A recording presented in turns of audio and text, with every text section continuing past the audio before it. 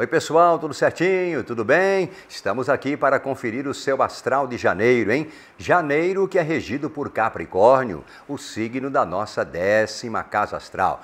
Décima casa astral que tem muito a ver com o trabalho, com a vida profissional, principalmente o trabalho por conta própria, tá? É na décima casa astral que a gente realiza as nossas maiores ambições. E o astral capricorniano é também muito favorável porque estimula a perseverança, a responsabilidade, o compromisso e também a persistência. Então, vamos lá, né? Aproveite aí a pegada capricorniana e corra, lute pelos seus sonhos neste primeiro mês do ano de 2018, beleza?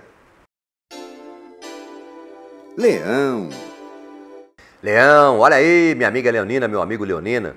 Não se esqueça de se inscrever e ativar o sininho para receber notificações. E aproveite para deixar também o seu like aqui embaixo para que o YouTube continue te mostrando os meus vídeos. Tá legal?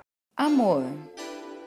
Olha, Leão, a paquera estará super movimentada, ainda mais na segunda quinzena, quando haverá chance de conhecer alguém que pode ser a tampa da sua panela. E para quem tem união firme, Vênus promete excelentes estímulos, mas a partir do dia 17, tá? Na intimidade, Marte vai deixar o seu desejo à flor da pele.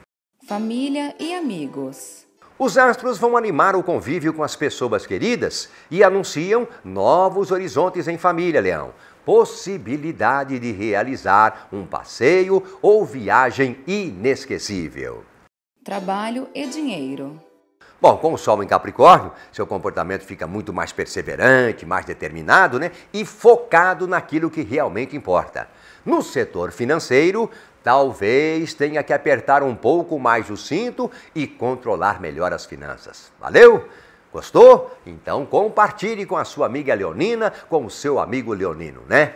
E aí foram as previsões então de janeiro para você, Leão. Um abraço forte, saúde e sorte.